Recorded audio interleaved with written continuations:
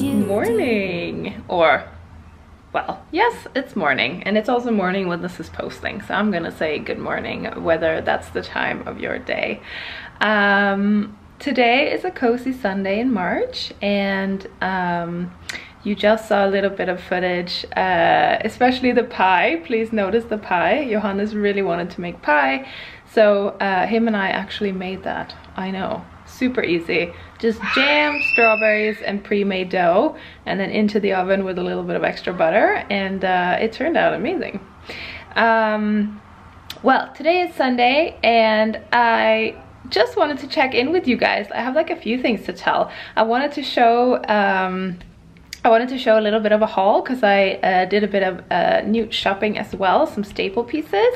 And then uh, I also want to do a really quick and dirty uh, elevation DIY of a knitted sweater.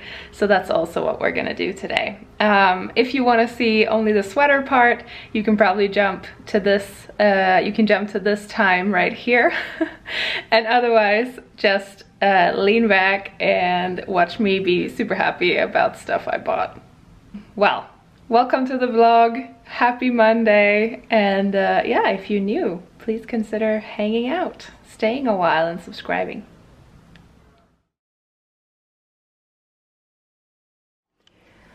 Okay, first things first. I got this top at Zara and it was really nice. It has like a built-in bra. So I'm gonna go back and get that in every color. It was uh, quite cheap, but um, but it fits really nicely and the material is really nice. That's always one thing I say, look for the material, not the price tag. Um, so yeah, I'm gonna get more of these today.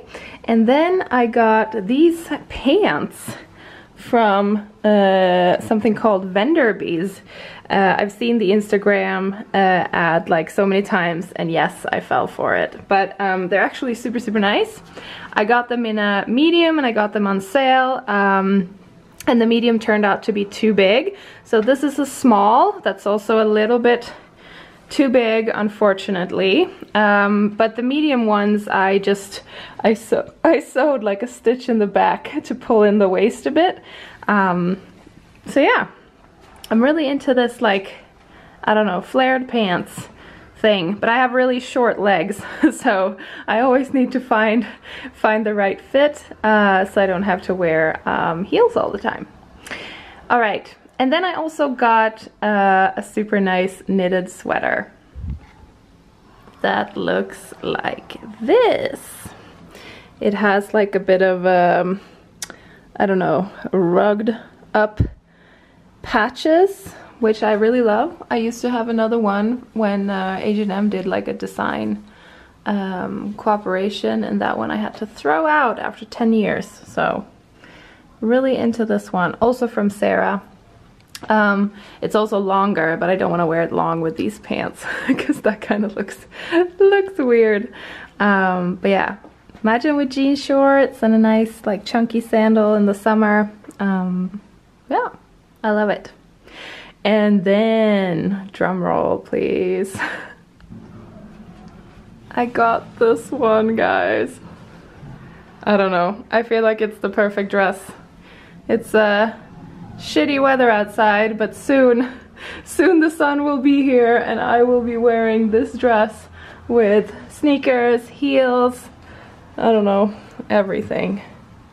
It's uh, Zara uh, and it's a size medium. I also got into the small, but I just, I want to be able to breathe and be really comfortable. So yes, this is it. Let's, uh, let's do the DIY. I'm actually gonna go and get the sweater real quick. Okay, so I got this sweater and uh, normally I'm a size like 36. We all know women's sizing is fake uh, just look at the clothes I just put on. But I'm normally a size 36 in like these type of wear and I got it in a size uh, 50 because I really wanted it to be oversized. Um, so it's really nice and big um, and it just, I love the stripes. It's kind of like, a, I don't know, it's just like a very classic piece. But I don't like the buttons and I feel like it's missing a bit of pizzazz. So we are gonna turn this sweater from, uh, from this into something really nice. Okay, so um, the first thing I said was I didn't like the buttons, so that's a very, very easy exchange. We're just gonna exchange those. And then I wanted a little bit of extra pizzazz.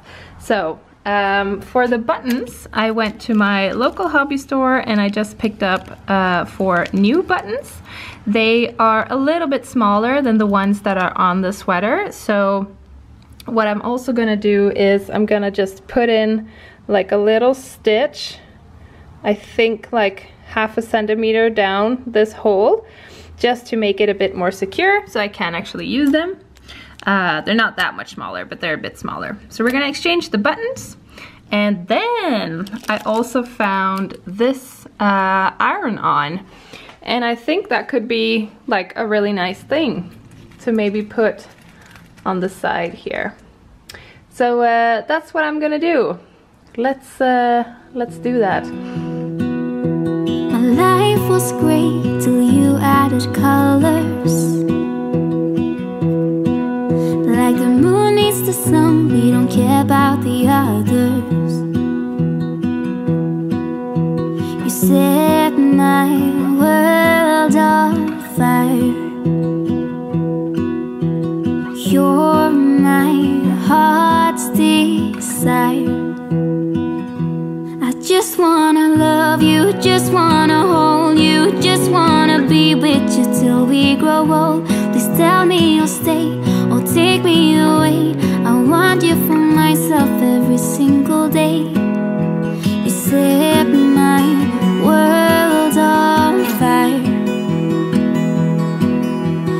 Set my world on fire I don't know what I'd do without you Okay, my loves. Here is the final result. I'm absolutely in love with this like elevation. I don't think you can call it an upcycle when it's a new item. But even if it's a new or, you know, used item, I think elevating it sounds better. Um, decided to do the buttonholes uh, vertically instead of horizontally, which I also think has a really, really nice detail to it. Um, and then black thread to just make sure that this sweater has a few cohesive elements. But yeah, this is all done.